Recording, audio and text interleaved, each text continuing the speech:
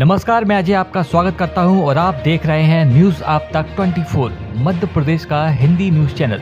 चलिए देखते हैं मध्य प्रदेश की 25 मुख्य खबरों को, लेकिन उससे पहले कमेंट करके हमें बताइए कि आप न्यूज़ किस ज़िले से देख रहे हैं। साथ ही वीडियो को लाइक, शेयर और चैनल को सब्सक्राइब करना ना भूलें, हमारे फेसबुक पेज को भी फॉलो करना ना भूलें, जिसका लिंक डिस्क्रिप्शन बॉक्स में दिया गया है।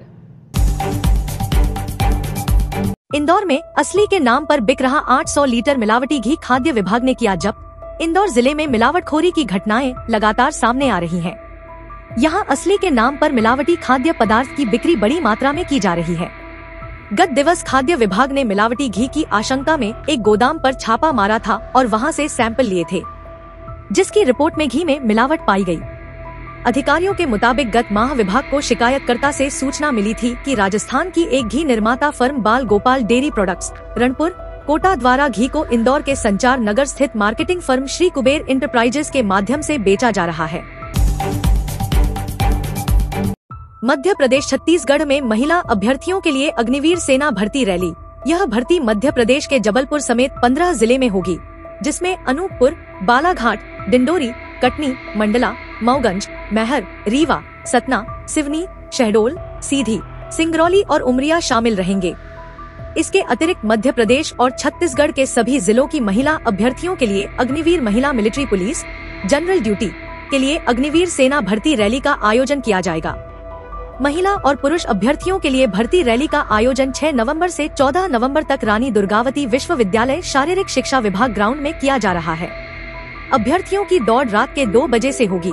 आधार कार्ड से जुड़ा मोबाइल नंबर लाना अनिवार्य होगा। साथ हाई अग्निवीरों को भारतीय नौसेना में अपने चार साल के पूरे कार्यकाल के दौरान विवाह करने की अनुमति नहीं होगी।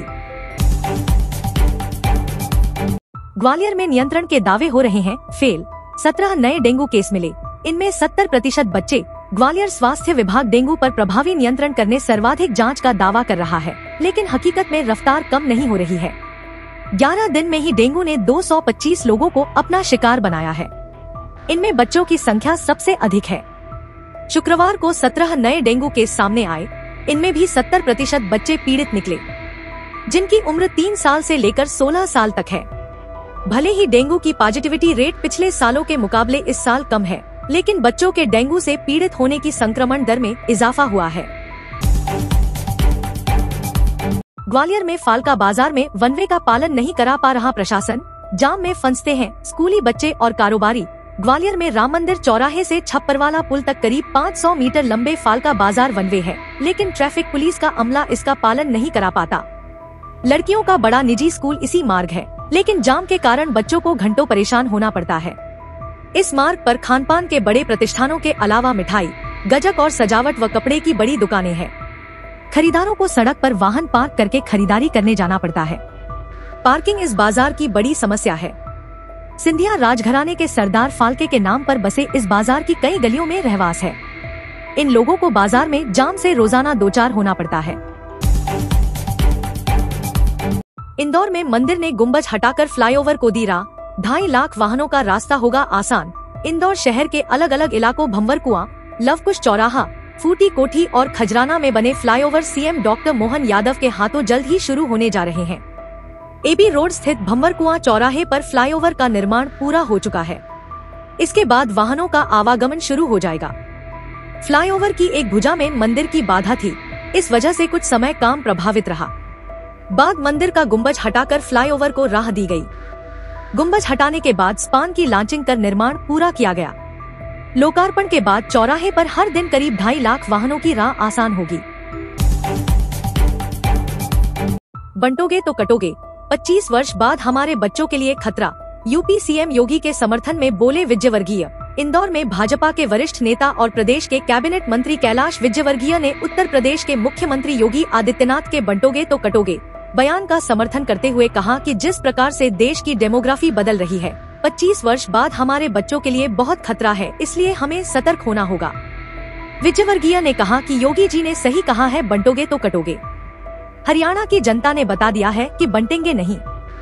यह बात विजयवर्गीय ने गुरुवार रात भाजपा के प्रदेश उपाध्यक्ष जीतू जराती द्वारा इंदौर में आयोजित सादगी गरबा महोत्सव में कही।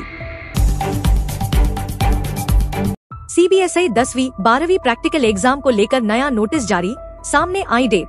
Central board of secondary education सी वर्ष 2025 में होने वाले बोर्ड एग्ज़ाम को लेकर अपनी तैयारियों में लगा हुआ है। इसी कड़ी में बोर्ड ने प्रैक्टिकल एग्ज़ाम को लेकर नया नोटिस जारी किया है। इस नोटिस के माध्यम से बोर्ड ने दसवीं और बारहवीं के लिए प्रैक्टिकल डेट की जानकारी दी है। शैक्षणिक सत्र 2024 से 25 के लिए दसवीं और बारहवीं के प्रैक्टिकल एग्ज़ाम, प्रोजेक्ट वर्क आदि 5 नवंबर से 5 दिसंबर तक होंगे। इसे दो भागों में विभाजित किया गया है।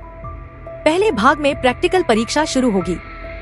सीबीएसई प्रैक्टिकल बोर्ड एग्ज़ाम के अलावा और भी कई गाइडलाइन जारी की गई है।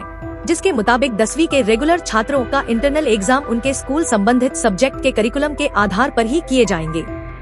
इस परीक्षा के लिए कोई एक्सटर्नल एग्जामिनर नियुक्त नहीं किया जाएगा।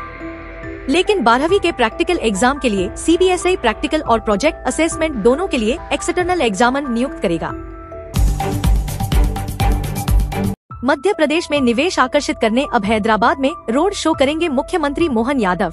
प्रदेश में निवेश बढ़ाने के लिए मुख्यमंत्री डॉक्टर मोहन यादव अब तेलंगाना की राजधानी हैदराबाद में रोड शो करेंगे। 15 और 16 अक्टूबर को होने वाले इस रोड शो के दौरान interactive session on investment opportunities in Madhya Pradesh में pharma VFX life sciences IT एवं आईटीएस और टूरिज़्म जैसे महत्वपूर्ण सेक्टरों में निवेश को लेकर प्रमुख उद्योगों के प्रतिनिधियों से चर्चा करेंगे। इसके पहले मुख्यमंत्री डॉक्टर यादव द्वारा मुंबई और बेंगलुरु में रोड शो आयोजित किए जा चुके हैं। दीपोत्सव पर भक्तों के वैभव से दमकेगा रतलाम का महालक्ष्मी मंदिर।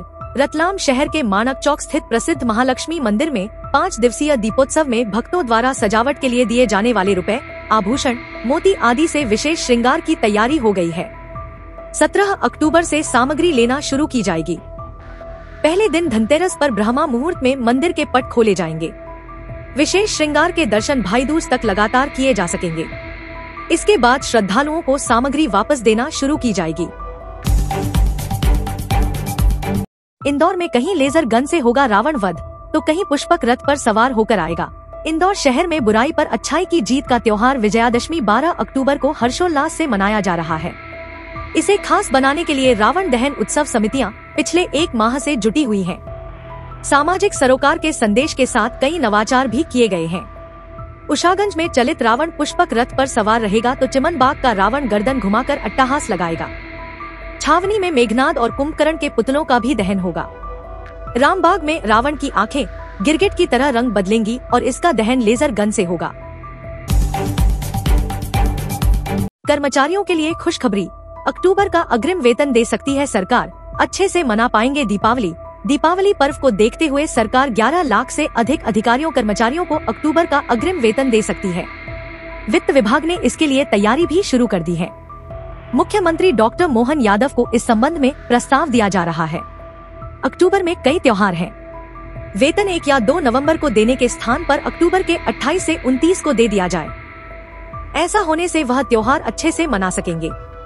प्रदेश में नियमित अधिकारियों, कर्मचारियों की संख्या सात लाख और पेंशनरों की चार लाख के आसपास है। इन्हें वेतन, पेंशन और भत्ते देने में लगभग साढ़े तीन हज़ार करोड़ रुपए लगते हैं। प्रतिमाह एक दो तारीख को वेतन का भुगतान किया जाता है, जिसके लिए कोषालय में बिल 28 से 29 तारीख को लगाए जाते हैं। दीपोत्सव को देखते हुए इस बार वेतन चार पाँच दिन पहले दिया जा सकता है, जिससे सभी कर्मचारी अच्छे से त्योहार मना सके। सीएम डॉक्टर मोहन यादव ने कहा, उज्जैन में मलखम्ब अकादमी शीघ्र चालू होगी। मुख्यमंत्री डॉक्टर मोहन यादव गुरुवार रात उज्जैन आए। वे क्षीर सागर स्टेडियम में श्री सांवरिया ग्रुप द्वारा आयोजित कुश्ती प्रतियोगिता में बतौर अतिथि शामिल हुए। उन्होंने उज्जैन में जल्द ही मलखम्ब अकादमी खोले जाने की घोषणा की। कहा कि शीघ्र ही जिम्नास्टिक की भी सौगात मिलेगी। उन्होंने उज्जैन के सभी पंद्रह अखाड़ों को दो दो लाख रुपए देने की घोषणा की। वे कुछ माँ दुर्गा के पंडालों में भी पहुँचे। मुख्यमंत्री डॉक्टर मोहन यादव ने अगले वर्ष गुड़ी पड़वा का त्योहार पूरे प्रदेश में सृष्टि आरंभ दिवस के रूप में मनाने को कहा है। अफसरों से कहा है कि विक्रमोत्सव महाशिवरात्रि से गुड़ी पड़वा तक करने की तैयारी अभी से प्रारंभ करें। राष्ट्रीय वैज्ञानिक संगम में विज्ञान और खगोल विषय से जुड़े विशेषज्ञों को इसमें आमंत्रित करें। अब साक्षात्कार के लिए चयनित उम्मीदवार कर सकेंगे आवेदन। एमपीपीएससी अगले कुछ दिनों में बुलाएगा बैठक। मध्य प्रदेश लोक सेवा आयोग एमपीपीएससी ने सितंबर में सहायक प्राध्यापक परीक्षा परिणाम जारी किया था। अब चयनित उम्मीदवारों के साक्षात्कार होने हैं। कुछ विषयों में आवेदन करने की अंतिम तारीख गुरुवार को खत्म हो चुकी है, जबकि कुछ में उम्मीदवार के पास 26 से 29 अक्टूबर तक आवेदन करने का समय है। इसके बाद पहले सात दिन के भीतर आवेदन करने पर उम्मीदवारों को तीन हज़ार रूपए अतिरिक्त शुल्क देना होगा। इसके पश्चात पच्चीस हज़ार रूपए विलम्ब शुल्क वसूला जाएगा। आयोग तीन चरणों में सहायक प्राध्यापक परीक्षा करवा रहा है। 9 जून को पहले चरण में आठ विषयों में 826 पदों के लिए लिखित परीक्षा करवाई गई। मध्य प्रदेश की 8000 अवैध कॉलोनियों को मिलेंगे स्थायी बिजली कनेक्शन। मध्य प्रदेश की 8000 अवैध कॉलोनियों के रहवासियों को स्थायी बिजली कनेक्शन दिए जाएँगे। इसके लिए ऊर्जा विभाग ने सुगम विद्युत योजना 2024 दो वर्ष के लिए शुरू की है। इस योजना के तहत आवेदक या आवेदकों के समूह को निर्धारित राशि का 25 प्रतिशत आवेदन के साथ एक मुश्त देना होगा। बाकी 75 प्रतिशत राशि का भुगतान कनेक्शन चालू होने के बाद मासिक बिल के साथ ब्याज सहित देना होगा। यह राशि जमा करने के लिए दो वर्ष का समय तय किया गया है। बता दें कि प्रदेश में दिसंबर 2016 तक 6077 अवैध कॉलोनियों को पूर्व मुख्यमंत्री शिवराज सिंह चौहान ने वैध घोषित किया था। इसके बाद से अब तक 2000 से अधिक अवैध कॉलोनियों और विकसित हुई है। सुगम विद्युत योजना का लाभ राजधानी की करीब 700 से अधिक अवैध कॉलोनियों को मिलेगा। इनमें निवास करने वाले 5000 से अधिक परिवारों को आसानी से स्थायी कनेक्शन मिल सकेगा, जिससे वह असीमित बिजली बिल से छुटकारा पा सकेंगे। ग्वालियर में गेहूँ का स्टॉक छिपाया। दो प्रतिष्ठानों पर कार्रवाई में इक्यासी लाख का माल जब्त। ग्वालियर गेहूँ के अधिकतम स्टॉक सीमा और घोषणा न करते हुए माल को छिपाने पर दो प्रतिष्ठानों खाद्य नागरिक आपूर्ति व उपभोक्ता संरक्षण विभाग ने कार्रवाई की है। गुरुवार को अधिकारियों की टीम ने निरीक्षण कर जाँच की, जिसमें दो प्रतिष्ठानों से इक्यासी लाख रुपए से ज़्यादा का गेहूँ जब्त किया गया।